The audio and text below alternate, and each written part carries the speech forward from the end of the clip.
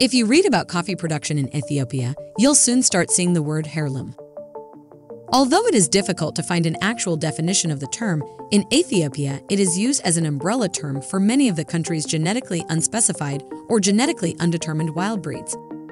For third wave coffee enthusiasts, these exotic and rare varieties are the perfect opportunity to try new flavors.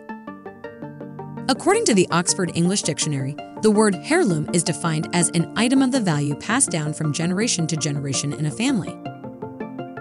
Similarly, in the coffee industry, the term is widely used to refer to the ancient species of the Arabica coffee plant, which has been around for a long time.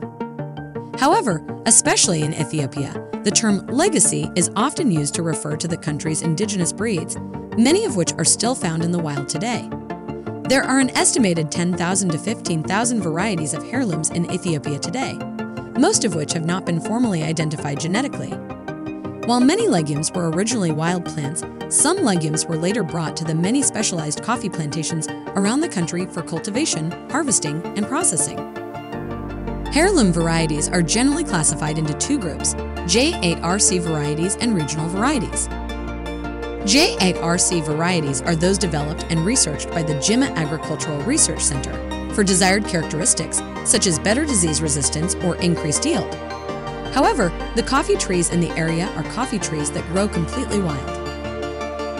Among the thousands of different heirloom varieties in Ethiopia, identified or not, there is a wide range of different characteristics, including yield, cup quality, taste, and disease resistance.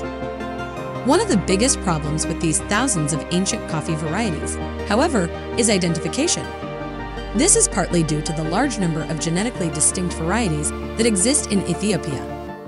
In addition, in some areas, many different varieties grow close together, making it difficult to distinguish and identify them.